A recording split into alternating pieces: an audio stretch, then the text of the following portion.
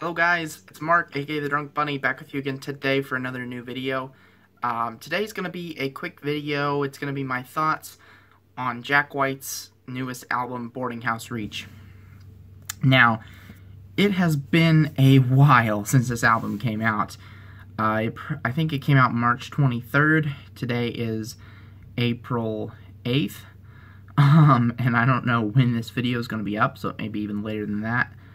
Um, but so I just haven't had time to talk about the album. Um, you know, I always give myself some time to listen to it a few times before I even think about uh, making a review of any kind. Sorry, I'm messing with my hair. um, yeah, I always give myself some time before I even think about making a review. That way I can do multiple listens. Um, but I have just been so, so busy, and I'm still busy um, that with everything. Life, life has been miserable lately. um, I've been swamped with stuff. So I finally have some time to sit down and talk a little bit about it. Um, I actually have a paper that's due tomorrow that I still haven't finished. But uh, but yeah, um, I've got just an inch, just like an inch of time that I can use to make this video. So uh, this is Jack's third studio album, uh, his solo, uh, from his solo project. He's got a completely different band, I believe. Uh, I'm pretty sure that everyone in his band is someone he hasn't worked with before. Um, I know Jack White's kind of kind of an eccentric uh, guy. He also likes to keep things fresh, um, keep the creative juices flowing. And this is definitely his most experimental album by far. Um, it's not even close. I'm actually going to grab my vinyl copy here.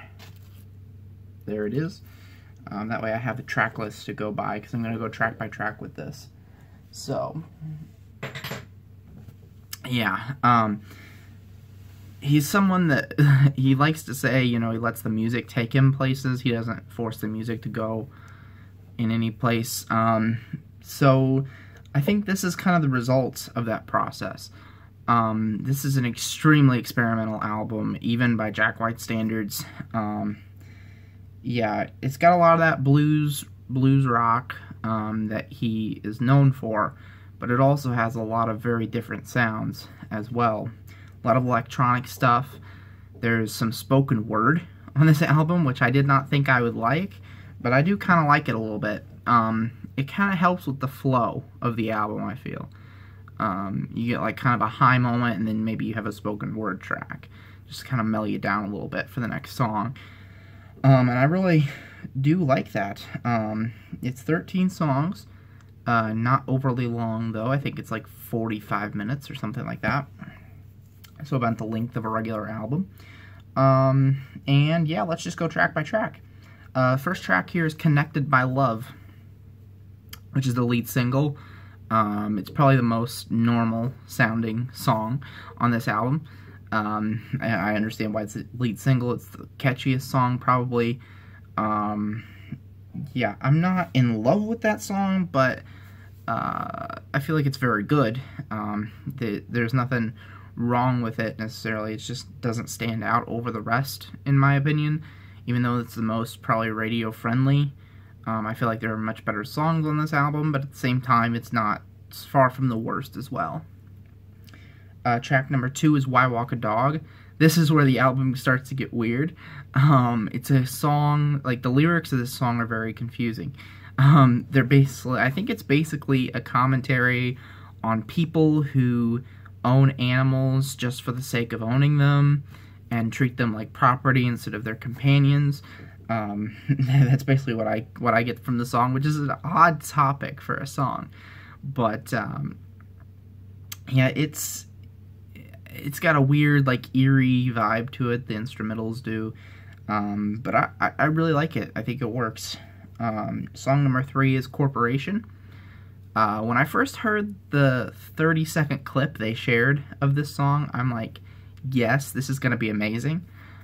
Um, but when I listened to it, it took me quite a while to get on get on board with this song.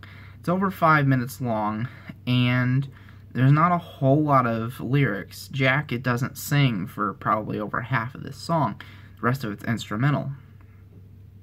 Which kind of put me off a little bit at first. But I feel like, as is the case with this entire album, the more you listen to it, the more I started to like it. So, yeah, this song really grew on me, um, and I think it's one of the better ones on the record. Uh, song number four, Abulia and Akrasia. I think I'm pronouncing that right. I'm not sure. It's the first of the uh, two purely spoken word songs, um, and this one is actually not performed by Jack White. I don't know who it's performed by, but Jack does not appear vocally on this song. Um, again, I think this really kind of helps with the pacing. These spoken word tracks kind of slow you down, mellow you out a little bit. And then we get to number six, Ice Station Zebra, perhaps the weirdest song on this album, in which Jack White attempts to rap. Um, the fact that he's like attempting to rap, I don't really think sounds very good, but the instrumentals on this one are really, really good. So, um, a lot of people love this song. I'm, I'm okay with it. You know, um, it, it it sounds okay to me. It doesn't sound like amazing or anything. And it's definitely one of the more out there songs. And that leads me to number seven, which is probably the most normal Jack White song on this album, Over and Over and Over. Um, to my knowledge, this song was kind of like a, a, a white whale of sorts for Jack White. Um, he'd been writing pieces of this for a long time, and it never really came together until this record. Um, and this is definitely the most classic Jack White, White Stripes sounding song on the album. If you listen to one song from this album, listen to this one over and over and over. Um, I think it's my favorite, mainly for those reasons. Um, it's what I'm used to. It's what I'm used to expecting from Jack White. Um, and it has a great, great guitar uh, part on it. Very a guitar heavy song, which is what I usually gravitate towards. Then we have number eight, Everything You've Ever Learned. This is a odd song. Um, it's but it's one of those odd ones that I just love, and I can't really describe why. Um, it starts out with Jack White doing some sort of spoken word, like intercom message. Um, and I actually want to find the lyrics because I think it's hilarious. Um, let's see where those are. I know I've got them. There let me find the lyrics for this one because this is just kind of hilarious, I think.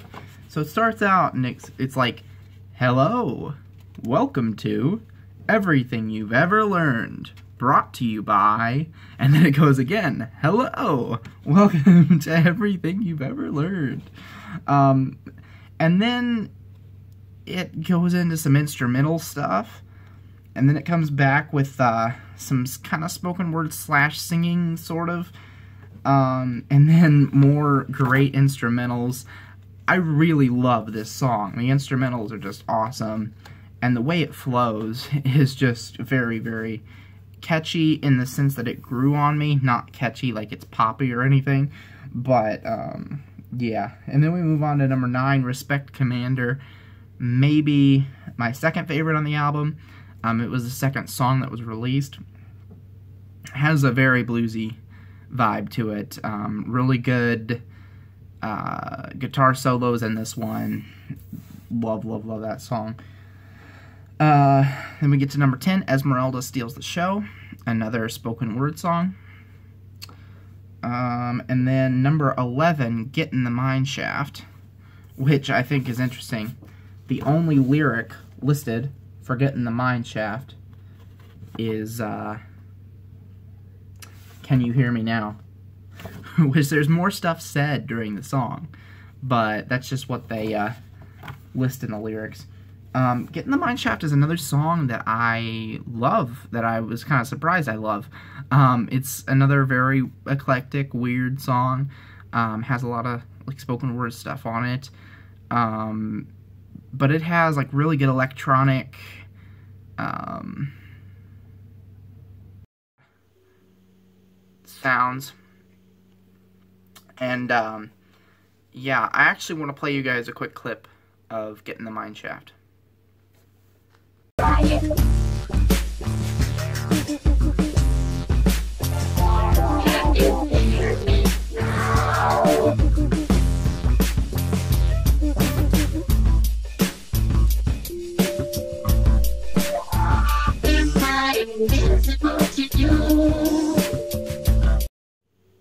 Alright, so that was Get in the Mine Shaft. Um, next up is number 12, What's Done is Done. This is a very country feel uh, to it, which I usually don't like country music, but for some reason when Jack White does something that's kind of country inspired, I love it. I don't know. Hotel Yorba is one of my favorite songs. Um, but the White Stripes, uh, I mean, Just One Drink from his album Lazaretto. Like, there's lots of country inspired stuff from Jack White that I love, even though I say I don't like country. Um, and this is another one of my favorites from the album. Um, really good. It's shared Jack and then female vocals, um, which I think is kind of interesting as well. And then finally, the 13th song on the album, the wrap up, is called Humoresque. Now, this is kind of weird because Humoresque, the lyrics to this, were originally written by Al Capone while he was in prison in Alcatraz, um, which is very unique. Uh, Al, uh, the the lyrics were up for auction um, last year, I think it was, and Jack White bought them for like eighteen thousand dollars or something. It was ridiculous. But um, and then he used it in this song. He set it to a Dvorak piece, so it's very slow, um, very nice. So um, yeah, that's it. Um, I actually forgot I was gonna play some other clips during this, so I'm gonna go ahead and play you guys a quick little medley of my favorite songs from the album. A dreamer,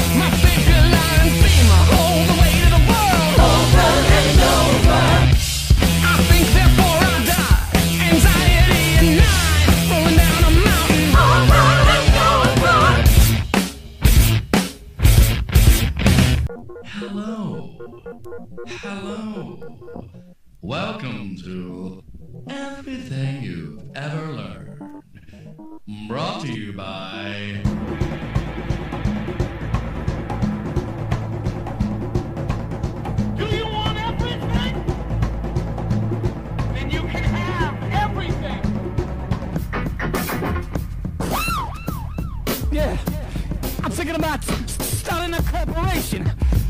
Who's me? Nowadays, that's how you get adulation. She commands my respect. She commands my respect. And I can't recollect a better time in my life.